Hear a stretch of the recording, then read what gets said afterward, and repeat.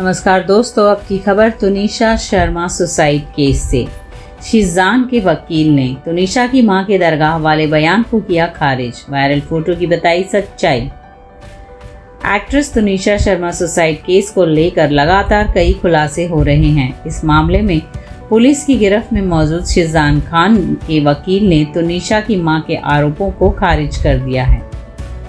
छोटे पर्दे की मशहूर actress Sunisha Sharma suicide case का मामला हर दिन चर्चा का विषय बनता जा रहा है। तुनिशा को आत्महत्या करने के उकसाने के आरोप में पुलिस को स्टार और एक्टर शिजान मोहम्मद खान को गिरफ़्तार कर चुकी है, जिन्हें अब 14 दिन की न्यायिक हिरासत में भेज दिया गया है।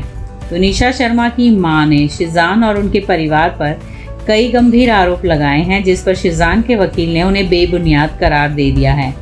सामने आया शिजान के वकील का बयान।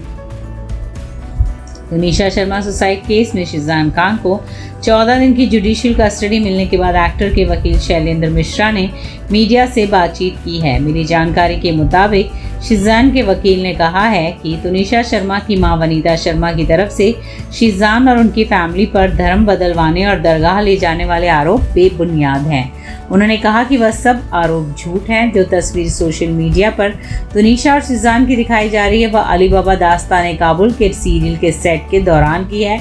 जो लोग कब, खुद कभी दरगाह नहीं जाते, वे बोला तुनिशा को क्यों ले जाएँगे? साथ ही इस मामले में लव जिहाद का एंगल एकदम गलत है।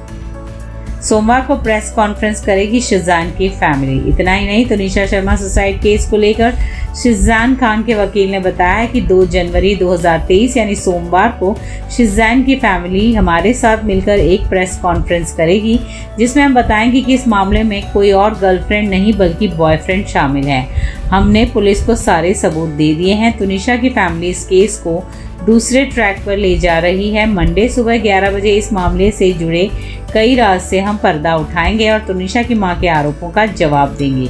तो इस बारे में आप अपनी राय हमारे साथ ज़रूर शेयर करें। इस वीडियो को लाइक करें और हमारे चैनल को सब्सक्राइब करें। धन्यवाद।